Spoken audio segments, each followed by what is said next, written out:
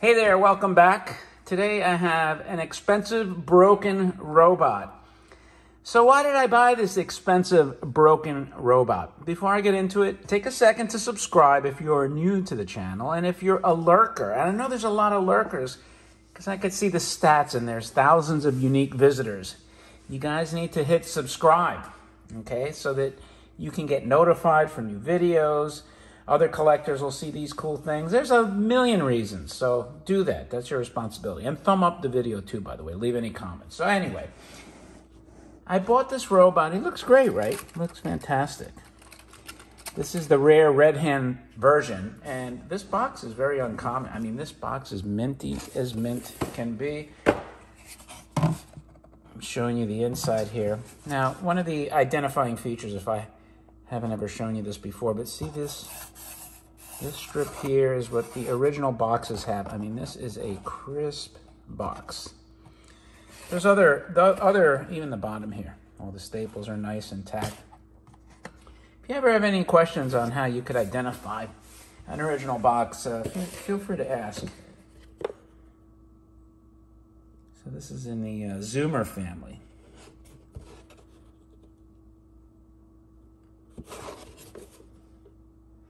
Reminds me of the R35 box in a way, for some reason, the way robot spelled out without the rivets. I'll get one more close up here. Gotta love those lightning bolts, right? The lightning bolts. And that planet, is that sphere a planet? I guess he's gonna fix the planet with his trusty wrench.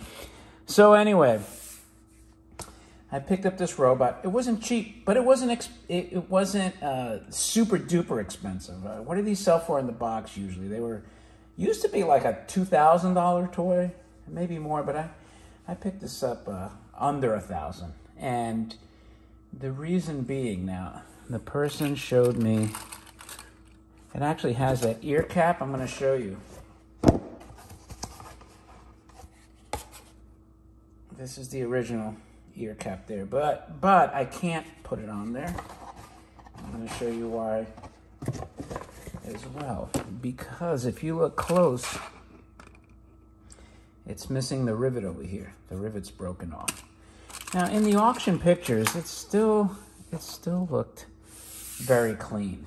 And the reason, I'll get to the, the reason why I bought it is because this box is particularly rare in my opinion. And to get this box in this like absolutely stunning condition, bright, crisp, uh, vibrant graphics, nice color, no fade, was a no-brainer. And quite honestly, I would have paid that much just for the box.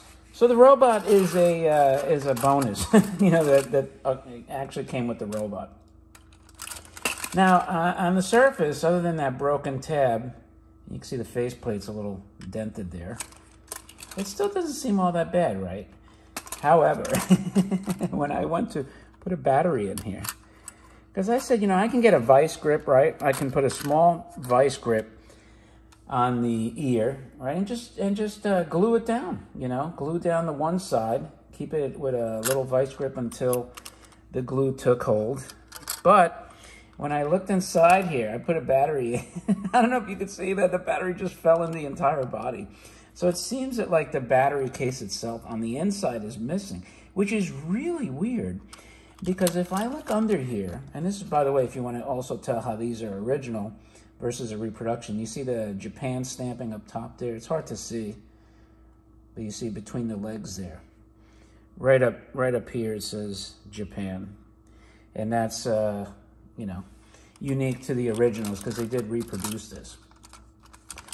So then I notice this little bend here, and it's odd because the tabs on the bottom are in perfect shape. It doesn't look like they've been bent out at all. So it's really confounding how they managed to just go through and it's almost like they had to purposely yank that out. It's just very strange damage to this uh, is the only way I could describe it. I, I, don't know like how the ear was pulled up because this is in great shape. The coil antenna is nice. So now this robot is a project. Uh, but you know, as these Zoomers go, I mean, he has everything. Uh, but he will need to be completely opened up. His original backpack is here. So it's it's worth salvaging this guy. And the thing is, you know, if you have to, right, something like this, you can get the reproduction. I think Tin Tom made it just to get the uh, battery compartment in there. Uh, there's really no solution for missing tab. I suppose you can kind of try to solder a tab in there, unless it's bent in there. I don't think so. It looks like it's looks like it's busted off. Um, but you can try to straighten out that faceplate and get this guy back to life, really. It wouldn't take much. So at the end of the day, just to get this box alone was worth the price of admissions.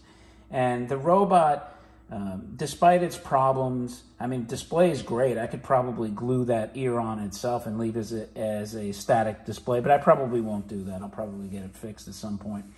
Um, but if nothing else, this is not too far away from being a perfect working example. So sometimes, as a collector, you gotta you gotta like bite the bullet and, and pick up something that you feel, well, I could have done better if I waited. But you know what? This box in this condition might not be around for five years, three years, two years, six months, ten years. Who the hell knows? But the robot itself, right?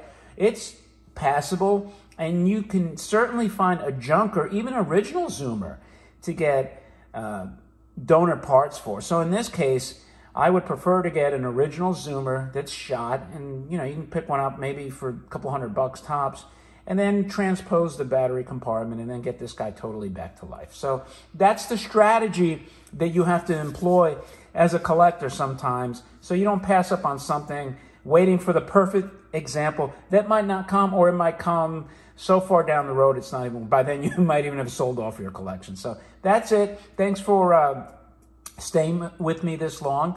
Don't forget to like, subscribe, leave any remarks, and uh, with and thumb up the video too. And hit the if you do subscribe, hit the bell icon, that little bell, so it notifies you of all new videos. All right. With that, thanks. Have a happy new year, and I'll talk to you later.